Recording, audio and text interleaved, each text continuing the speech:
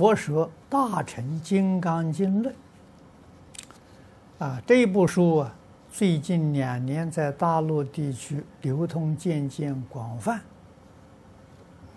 但有人传言此书非世尊当年宣讲，说伪经。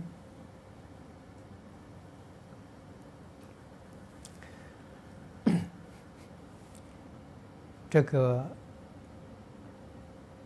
你去查《大藏经》就知道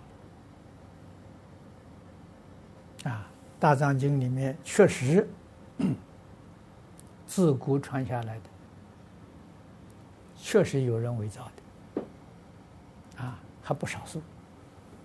可是《藏经》里面呢，给我们这个编排的很好，啊，他统统把它集中。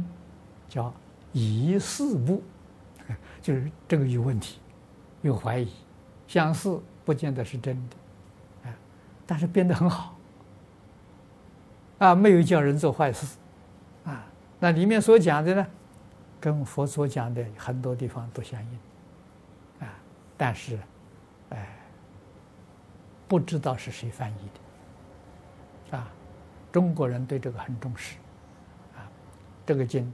从印度传来，在什么地方翻译的？哪个人翻译的？都记载的很清楚。那那有这些有这个记载的，那就很可靠，这真的，绝对不是假的。啊，如果没有这个记载的时候，大概都放在疑似部，啊，就是有怀疑的啊，你能够看得出来。那么像这些东西呢，可以做参考。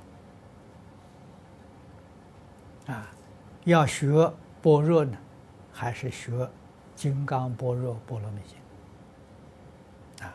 这做参考可以。